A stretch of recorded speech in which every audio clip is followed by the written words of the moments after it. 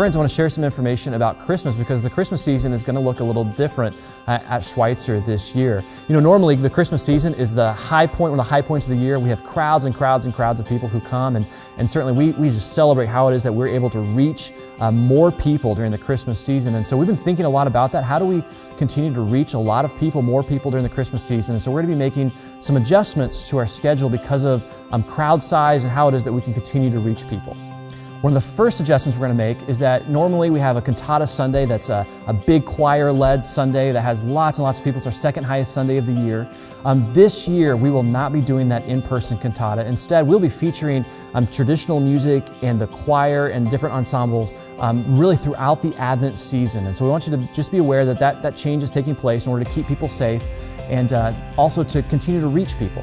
Uh, now, for Christmas Eve, we're certainly going to look different this year. Usually, we have thousands of people who come to our, our campus to experience that Christmas Eve evening as we celebrate that together. And so, instead of having just lots and lots and lots of people um, come to that gathering, instead, we're going to spread this out over the entirety of the week so that we have lots of opportunities for us to come and, and still be together.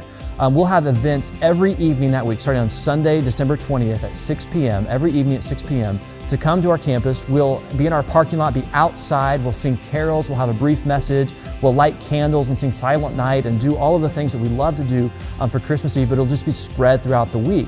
Now, Christmas Eve itself, December 24th, is also going to look different because of having all of those people come to our campus. Instead, we're going to be creating an experience where you can experience this wherever you're going to be. We'll be we'll be online only that day with a service that's going to be it's going to be different in its approach, but we're going to stream that all day long. So no matter when it's convenient for you and your family and people you want to share this with, that you can participate with this uh, with this message of hope that we have that Jesus has come to save us. I want to thank you for your flexibility as we navigate this pandemic together as a church family.